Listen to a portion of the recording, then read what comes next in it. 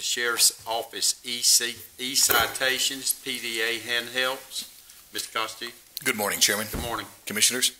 As uh, stated on the last agenda, this is the second piece of the update of the uh, equipment in the Sheriff's Department vehicles.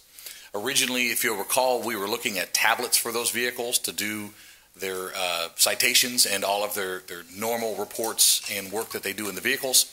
Uh, It was determined that those, not only were those citations, I'm sorry, were those tablets significantly more than the laptops, but the, most of the uh, benefits that we wanted to receive would, would be delayed by maybe as much as two years. And so our fallback is to save $89,000. We just didn't think it was worth the difference in price for the benefit that we were going to receive, and to add uh, 11 of the additional handhelds that they're currently using today to write PDAs. Or, I'm sorry, to write citations. Any questions for Mr. Costi? So assuming that, let's, let's think about like, in two years, if this technology catches up for the tablets, then we, we do away with the PDAs, right? Is that kind of the thought?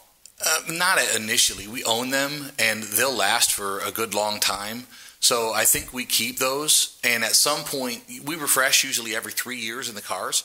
So at that three-year refresh point, we look again, and we just we just make a determination as to what makes the most sense.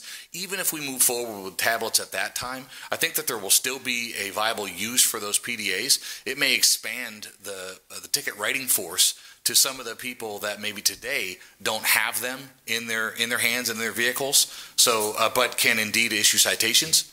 Uh, we'll just have to look at that in three years and see where we are. I got you. Thank you. Yes, sir. Any other questions? Okay, we'll move on